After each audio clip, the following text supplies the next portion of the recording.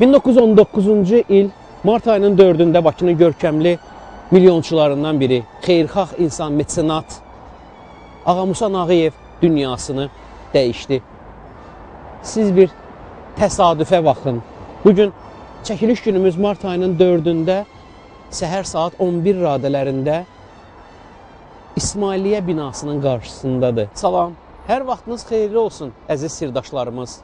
Bugün biz sizə Bakının memarlıq incilərindən sayılan İsmailiyyə binası haqqında, bu binanın tikilmə tarixi və bu tarixə təsir edən hadisələr barədə məlumat verəcəyik.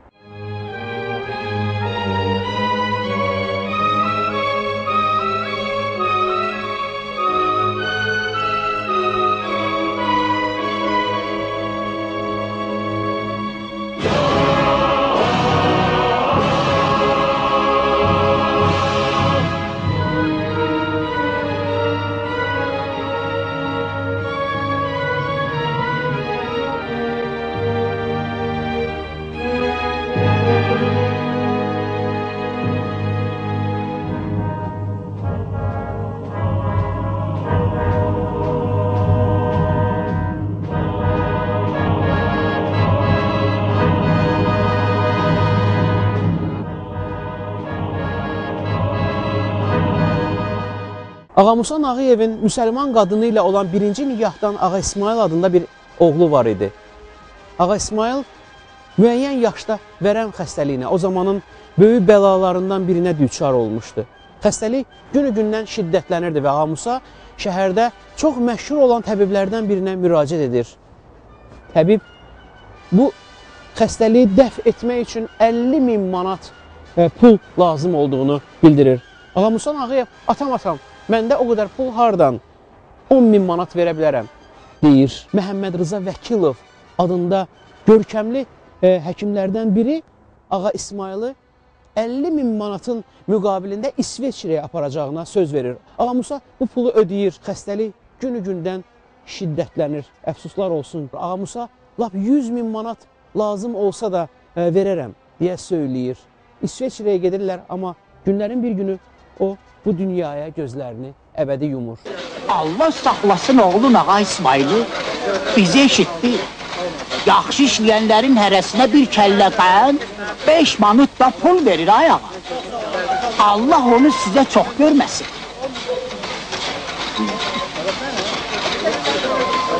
Allah onun cibini həmişə pullu eləsin. Novruz bayramı münasibəti ilə e, şənliklərdən birində Bakı milyonçuları e, toplanırlar və milyonçulardan biri Ağa İsmailı xatırladır. Ağa Musa, oğlun Ağa İsmailin xatirəsini yad etmək istərsənmi? Elə bir şey et ki, onun adı əbədi yaşasın. Oğlunu itirmiş atanın gözləri yaşarır. Əlbəttə istərdim, söyləyir. Həmin o yığıncaqda Bakı milyonçuları ilə yanaşı həm də şəhər qazisi və mənim ulu babam Abuturab Axund da iştirak edirdi. Hacı Zeynalabdin Tağıyev Abturab Axunda və Bakı şəhər qazısına işarə edir. Onlar da dualar edirlər.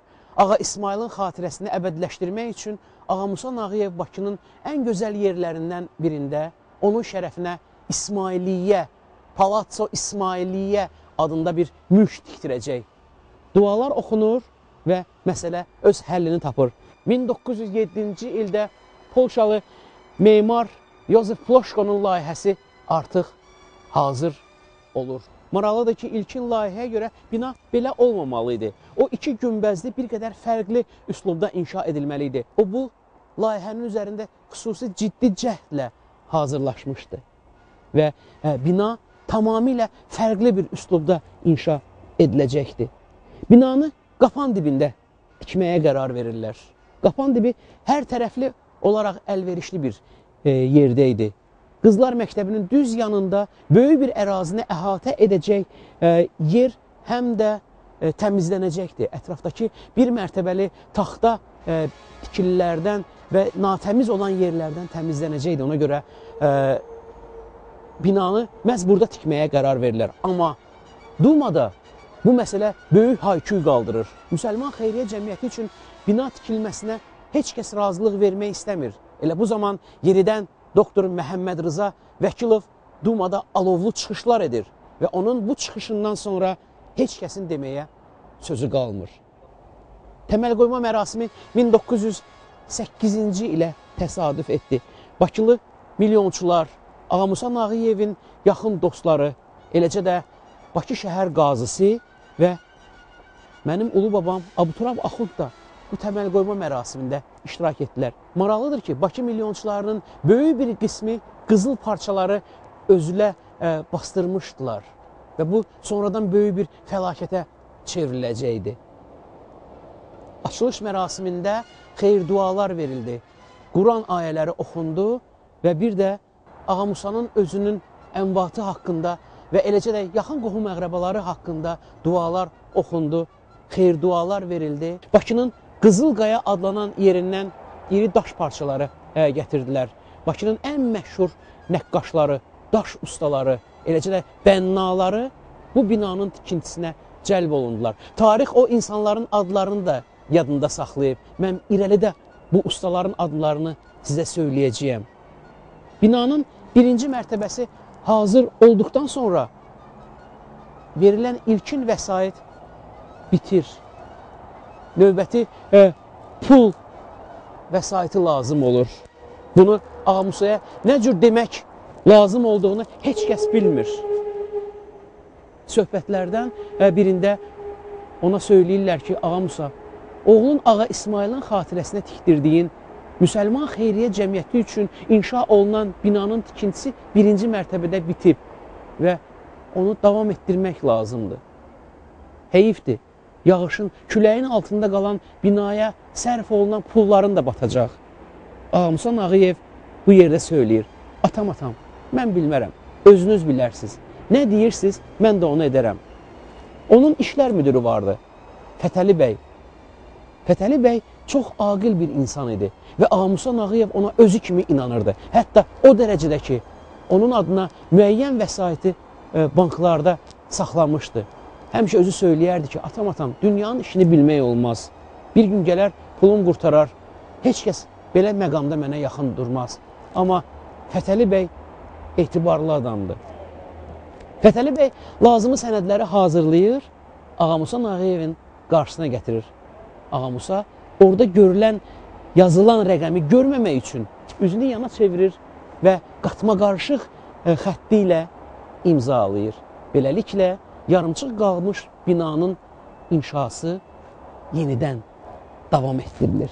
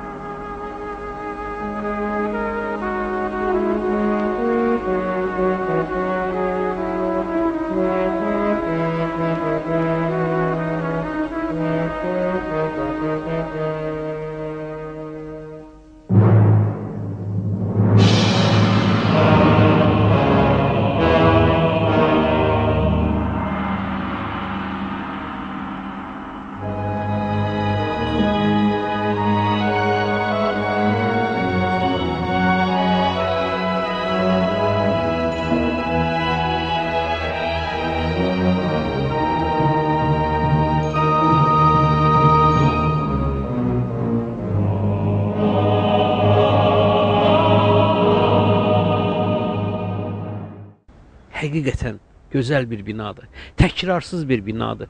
Və bu binanın gözəlliyini və müsəlman xeyriyyə cəmiyyəti üçün tikilməsini nəzərə alaraq mollalar, üləmalar, Bakı şəhər qazisi, Abuturab Axund və digər görkəmli şəxslər onun tikiləcəyi yerin dörd çevrəsinə dualar oxumuşdular və binanı saxlayan da o dualardı. Və bir də xeyriyyə cəmiyyəti üçün müsəlmanlığa xidmət etməsi üçün pəncərələrin üstündə xüsusi yerlərdə hikmətli sözlər yazılmışdı. İnsan yalnız zəhmətlə ucalıb istədiyinə nail ola bilər.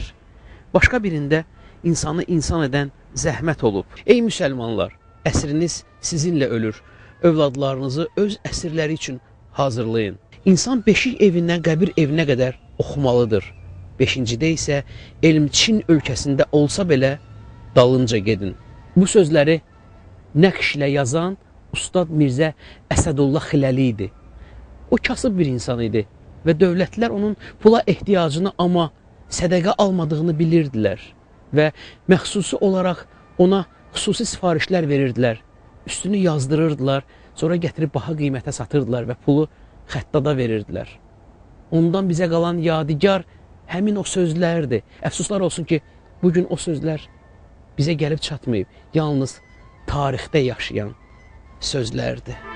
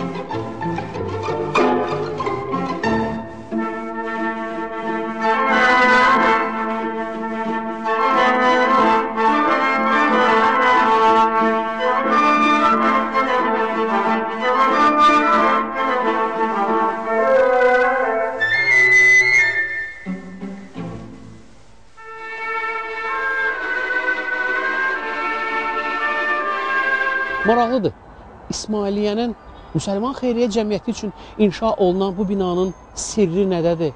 Diqqət yetirin. Bir tərəf digər tərəfi qətiyyən təkrarlamır və maraqlıdır. Binanın bir hissəsində iki mərtəbəli olmasına rəğmən ortada 4 və qıraqda yenə iki mərtəbəlidir. Sanki belə görünür, amma əslində belə deyil. Bu sadəcə zahirdən belədir və bir də bu gözəl eyvanlara və Venetsiya üslubunda inşa olunmuş həmin o naxışlara diqqət yetirək. Sütunların üstündə olan o daş üzərində nəqşlər məni indiyə qədər valeh edir və nəzərə alın ki, gördüyünüz 5 güşəli ulduzlar Sovet dövründəki bərpa zamanı e, ora həkk olunub. Əslində tamamilə başqa naxışlar orada e, var imiş. Tarixən inşa olunarkən Davud peyğəmbərin ulduzu orada e, öz əksini tapmışdı. Və bir də bu binanı təkrarsız edən və Bakı üçün əhəmiyyətini izah etmək üçün biz görkəmli memarımız Yusuf bəy İbrahimlidən bu barədə qısaca məlumatlar alacağıq. Sirdaş. Nədir bu binanın özəlliyi? Yəni bunun memarlıq üslubu gotika üslubu adlanır. Venetsiya gotikası. Professor Britanitski memarlıq tədqiqatçısı o Palazzo İsmailiyyə adını bir simfoniyaya bənzədir. Yəni daşdan düzəldilmiş simfoniya. Memara çox adlar verirlər. Donmuş musiqi falan. Bu onu belə adlandırır və bunda böyük bir həqiqət də var. Çünki çox gözəl, möhtəşəm işlənib. Layihə çox gözəl. Bu gün biz içəridən baxırıq, onun içər, e, bayırdan baxırıq. İçərisində interyeri çox gözəl işlənib. Bayırdan baş fasadında memarlıq Venetsiya memarlığına xas olan elementləri görürük. Baş e, fasadda giriş möhtəşəm işlənib.